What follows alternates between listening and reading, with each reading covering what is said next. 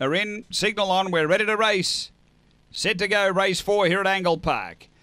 Racing off the inside, Windmill Hayes leads well. There's some pressure coming, but Windmill Hayes is going to boot through and hold the front. So the favourite away by three early. Uh, second is Sacred Witch around the outside, McLaren Missile. Uh, then came Shimmertron weaving between runners. Next heading my way and back at the tail, Shaky Shadow down the back at the 700 boxes. Windmill Hayes out by two to McLaren Missile, sticking on well. Six or seven away, Shimmertron. Then came Sacred Witch behind those Shaky Shadow and heading my way up to the turn. Windmill Hayes still a bit over a length on McLaren Missile. Windmill Hayes in front from McLaren Missile, and Windmill Hayes does well, the favourite. Drew away in the end to win it by two. McLaren Missile second.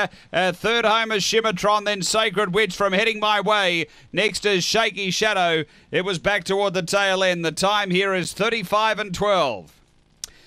After the running of race number four, and uh, numbers are one, two, seven, and five. Windmill Hayes Leading all the way here for Ken Gill, the owner trainer. A Black Dog made 2015, Barcia Bale, Contrary Mary. Number one first, Windmill Hayes. Second to two, McLaren Missile, Tanya Foster. A Black Dog, February 2014, Cosmic Chief, Stevie McLaren.